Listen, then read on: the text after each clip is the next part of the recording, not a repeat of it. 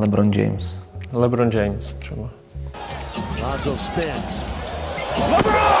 Pak obdivuju, obdivuju u nás uh, Jaromíra Jagra.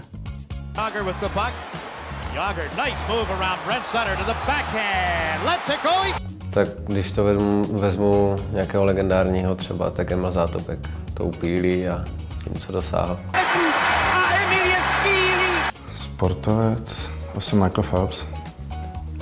Get his fifth Olympic berth, and it's Shields trying to hang on to second, and he's to Uh, Roman Šebrle, ale už, už jako není a těž, těžko říct, ale to byl fakt jakože vzor.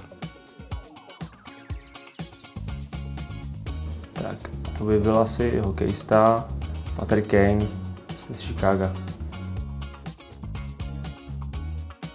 Mm, Asi, asi Peťo Sagan by som povedal. Asi Jaromír Jágr. Asi Lewis Hamilton. Emil Zátopek. Uh, asi LeBron James, protože rád sleduju NBA. Tak to je zase uh, Roger Federer, protože to je legenda, kterou asi nikdo nepřekoná. Tolik Grand Slamů a uh, v tolika tí rokách ještě hraje na takový úrovni, takže uh, on je jednoznačně nejlepší sportovec pro mě. Asi Roger Federer. Asi Roger Federer. Asi Roger Federer.